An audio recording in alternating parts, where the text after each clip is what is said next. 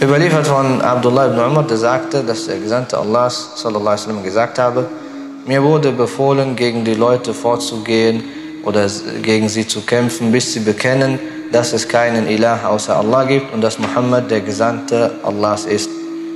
Und bis sie das Pflichtgebet verrichten und die Zakah leisten, wenn sie das tun, dann sind ihr Blut und ihr Besitz vor mir gefeit, außer den, in den Fällen, in denen es, in denen es einen Rechtsanspruch gibt. Das was Haqqul, Haqqul Islam nennt.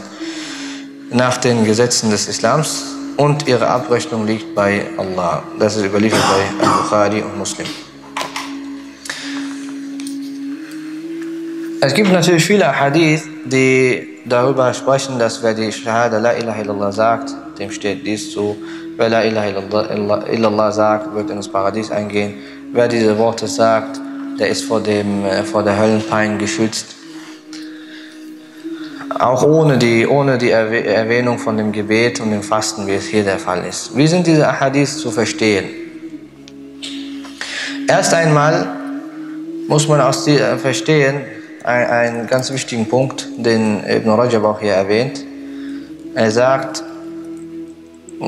فإن كلمتي الشهادتين بمجردهما تعصم من أتى بهما ويصير بذلك مسلما. Die Shahadatain, Kalimat, Kalimatay, Shahadatain, diese zwei Begriffe, die zwei Worte der Shahada, alleine sagt, bimujarradihima, mit ihnen alleine wird der Mensch zum Muslim. Also wenn eine Person das ausspricht, gilt er als Muslim zu zählen. Und das ist eine Sache, die äh, die Fuqaha auch erwähnen anhand vieler Beispiele in ihren Büchern. Ich nenne euch ein paar Beispiele aus den Büchern der Hanabila. Die Hanabila sagen, nicht nur bei der Shahada, auch beim Gebet sagen sie das, ähm, Sie sagen, wer das Gebet betet, yani sei es im, sie sagen für Dar al-Islam oder Dar al-Harb, im Dar al-Islam oder im Dar al-Harb oder wo auch immer, in der Jama'a oder alleine zur Zeit des Gebets oder außerhalb der Gebetszeit. Sie sagen, فهو مسلم حكما Muslim, Hukman. Er ist juristisch betrachtet, gilt er als Muslim. Was heißt juristisch? Hm? Yani, ob jemand in der Realität ein Muslim ist oder nicht, das, das kannst du nicht sagen. Richtig? Außer, dass, außer Allah Ta'ala berichtet im Koran über bestimmte Personen oder der Prophet sallallahu nennt Personen. Aber so allgemein von anderen Individuen nicht. Den inneren Islam, den kannst du nie tatsächlich kennen. Deswegen erwähnen sie, dass diese Ahkam juristische Ahkam sind. Unabhängig davon, ob er wirklich ein Muslim ist oder nicht. Das ist nicht, das ist nicht deine Sache es sind juristische Ahkam. Wenn, die, wenn, wenn, wenn du eine unbekannte Person vor dir hast, eine unbekannte Person, du weißt nichts über sie, sie kennt dich nicht, und er sagt vor dir diese Worte oder äh, führt diese Handlungen aus, Fahua Muslimun Hukman, er ist juristisch gesehen ein Muslim. Was heißt das, wenn man noch weitergeht? Ich stelle euch mal eine Frage. Nehmen wir mal an, ein Mann, den du kennst, ein Christ, ein Jude, ein irgendwas, sagt diese Worte vor dir oder er betet mit dir. Er kommt, sagt, hey, ich will heute mit dir beten. Bei ihm. Er macht das und äh, um das noch ein bisschen zu verdeutlichen, sagen wir einfach, er hat vorher gesagt, er möchte Muslim werden auch. Weil eben nachdem er gebetet hat oder diese Worte gesagt hat, sagt er, ich habe nur Spaß gemacht. Oder ich habe es gar nicht so gemeint. Jetzt, was ich damit sagen möchte, du weißt ja jetzt, du weißt jetzt, dass er in dem Moment, in dem Moment, als du davon ausgegangen bist, er sei ein Muslim, war ja gar keiner, oder? Er war ja gar keiner dann, ne? Weil er hat ja gesagt, wenn er die Wahrheit sagt, er wollte gar nicht Muslim werden, hat nur Spaß gemacht. Jetzt die Frage, die ich euch stellen möchte. Dann, daran erkennt ihr nämlich, was die Fuqaha mit ihrem, mit ihrem Wort Hukman meinen. Wie beurteilst du ihn jetzt? Es gibt ja diese zwei Formen des Kufr, Kufr al-Asli und Kufr al-Ridda. Die sind verschieden und auch die Ahkam sind unterschiedlich im Umgang mit Menschen. Ist er ein Kafir Asli, so wie er also schon vorher war, oder ein Murtad? Du weißt ja, er war gar nicht Muslim geworden. Er hat ja selbst gesagt, ich wollte gar nicht Muslim werden. Hm? Warum sagen wir Murtad? Obwohl wir wissen, er war gar kein Muslim. Weil wir ihn juristisch als Muslim gewertet hatten. Versteht ihr? Das heißt, das ist eine ganz wichtige Sache, die wir verstehen müssen. Es geht nicht immer um die Realitäten. Es geht nicht immer um die Realitäten. Manchmal kann die Real, kann die, können die Ahkam der Scharia, es kann eine Diskrepanz bestehen zwischen der, der, der, den Hukum der Scharia und der Realität. Ich gebe euch ein ganz einfaches Beispiel dafür, wo man das sehr klar und offensichtlich sieht. Es wird überliefert in den Sahihain, dass äh, Utbah ibn Abi Waqqas und Abd ibn Sam'a hatten einen Streitfall. Sie hatten einen Streitfall. Es ging um ein Kind. Wem dieses Kind gehört. Utbah ibn Abi Waqqas und er sind zum Propheten sallallahu gegangen und beide, Utbah sagte hier, ja Rasulullah, das ist der äh, das ist der Sohn von meinem Bruder.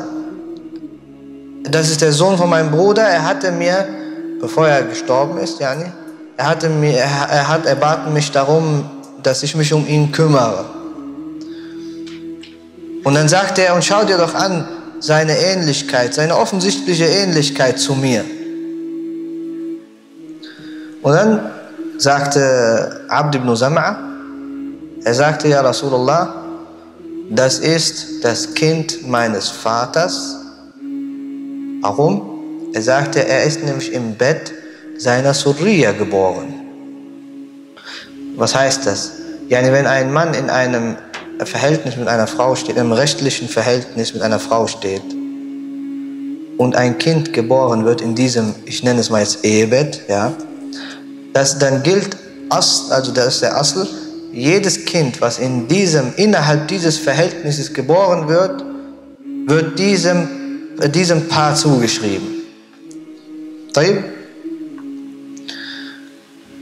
Das hat natürlich seine Details und Ahkam, aber das können wir jetzt nicht besprechen. Versteht einfach nur mal diesen Grundsatz. Das ist nämlich der Asl. Aber der hat eine Ähnlichkeit zu Utbah. Was glaubt ihr, wie der Prophet jetzt gehandelt hat? Wie fiel sein Urteil, Urteil aus? Offensichtlich, hm, er hat eine, äh, sie sagen, Shabahun bayinun bi'utbah. Er hat eine offensichtliche yani, äh, Ähnlichkeit zu Utbah gehabt. Das heißt, jeder, der ihn sieht, erkennt das. Wie hat der Prophet geurteilt?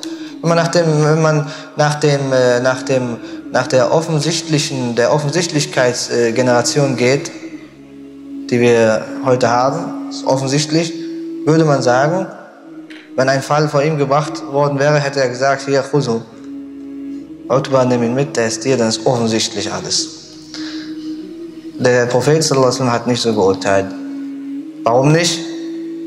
Es gibt ein Asl, es gibt einen, einen, Leitsatz in dieser Sache. Es gibt einen Leitsatz, den du nicht einfach ausschalten kannst, wenn es mal nicht mehr so offensichtlich ist.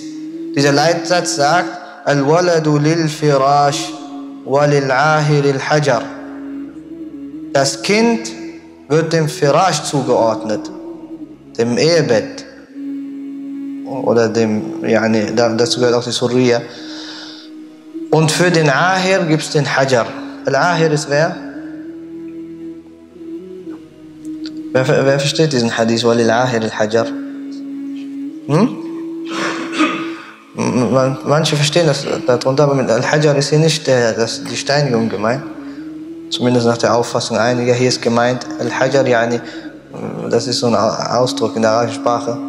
Man sagt zum Beispiel, Li Fulan Al-Hajar, yani la shay. Lifulan Al-Hajar, la shay. Also bekommt nichts. Der Prophet sallallahu sagte zu Abd ibn, äh, zu, äh, Abd ibn Sam'a, er sagte, Khudhu fahuwa lak. Abd ibn Sam'a, der, der, der, der gesagt hat, das ist der Bruder von, äh, das ist der Bruder, der, äh, einer der Frauen des Propheten sallallahu Er sagte, nimm ihn, er ist dir. Die Ähnlichkeit ist aber zu Utbah. Hier haben wir einmal eine Realität, also etwas, was, ja, etwas Offensichtliches, und wir haben hier einmal ein Hukum der Scharia.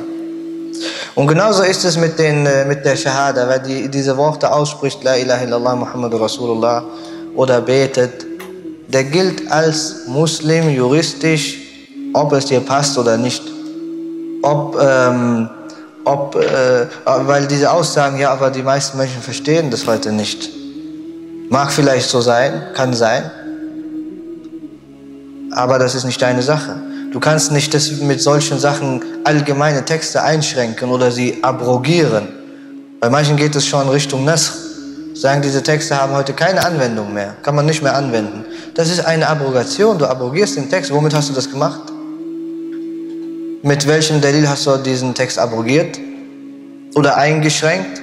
Allgemeine Texte einzuschränken ist eine Form des Hukum. Das ist eine Form des Hukum. Mit was, mit welchen, oh, du kannst nicht Texte mit deinem Realitätsverständnis einschränken.